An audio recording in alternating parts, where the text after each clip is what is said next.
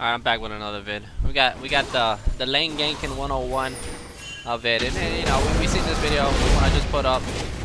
Uh, this is the this is the game and what happened at bot lane. Uh, when you get sometimes you get decent junglers, sometimes you get uh, crap junglers, and sometimes you get a bot lane that sometimes you can't do anything because uh certain situations bot lane. But you know we farm and we farm. sometimes you get a you get a lane where you just passive farm farm farm and you get a uh, one of these OP junglers by name uh, Shadow Prince, Prince, Prince, Prince. He, he, he, he uses the flash, you know, but he's gonna be doing a lot of lane ganking. And lane ganking is OP, man. It, the, the, the, the, main thing about lane ganking is bait. Are you able to bait? And Volibear is the best person because I'm always like at low HP. Um, uh, I'm actually got to hide behind Kog'Maw because uh, you know, just just just the way the lane went because uh, it's easier for me to die and then Kog'Maw won't burst out enough damage. So they, they try to go for me, so that's good for lane ganking. And then, and then we got we got, we got Skarner. He's over there, and whenever it blues up, and whenever Skarner doesn't have to get blue, whenever and every time blues up, he gets to keep it. He, he, he's OP. He's like one of the most OP junglers. Because he can just spam Q, auto slow you all day, speed up with his W, and GG. And he's got the ultimate ult at level six. So he comes in lane gank, slow it down a little bit. So first thing we do is exhaust rate, uh, ult him slap him right in the mouth, right right hook, uppercut, uh, spit on him a few times. Uh, I, I didn't stop. I had to keep hitting him because I didn't want Kog'Maw to die. As you see, he got ignited. I didn't want him to get bursted. Next is uh, next is I uh, got cooldowns. Next is Blitzcranko. Blitzcranko gets his in the mouth. Got a little suit on. He ain't gonna be wearing the suit no more. I should have I should have hit him right there just so that uh, Kog'Maw didn't take turret, but it didn't matter. It worked out just fine. Diana's things come down, but doesn't come down. Uh, so we head back.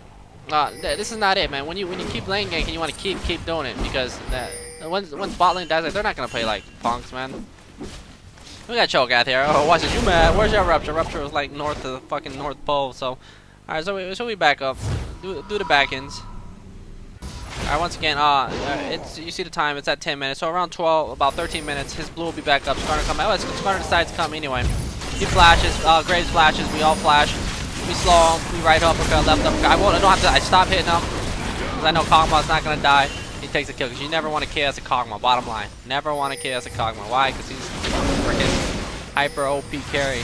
Here is just a little dragon fight we get into. Uh, slap him, flip him, uh, and then I bait. I actually, I pretty much baited uh, our Skarner, but Skarner's. Uh, I know Skarner. He's a friend of mine, and uh, it's all good because we we make up for it. Uh, so we go back to landing phase. Uh, come back. Kog'Maw comes back down. As you can see, I'm not full HP, so you know it's a good opportunity for me to debate. And then once again, Skarner comes back. Da, da, da, oh, okay, it went super fast mode. I, I didn't know it was gonna happen that fast. So Kog'Maw gets a double kill right there. So we're gonna go ahead and uh, rewind that.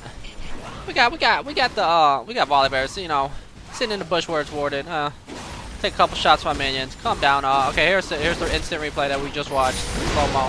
Uh, come in here. Go for Graves. Exhaust him. I'm low. So he's gonna hit me. So what I want to do is I want to run away. You never want to just stay on there. If you're about to die, you always want to back because you want to stay stay alive. But most people just die. So I, I and so we go back. So I'm just gonna wait. I have my flash up. I think. Come back. Uh, Skarner. Look, like I said, man, he is OP. Flip. Kog'Maw gets a double kill. And once again, you know, when, when, once this happened, Kog'Maw is sitting at six kills. When you got six kills, man, you're pretty much, you gotta do set a uh, wall for Kog'Maw. He just spits on everybody. When you have a Kog'Maw spitting at you, you're gonna be bleeding for hours.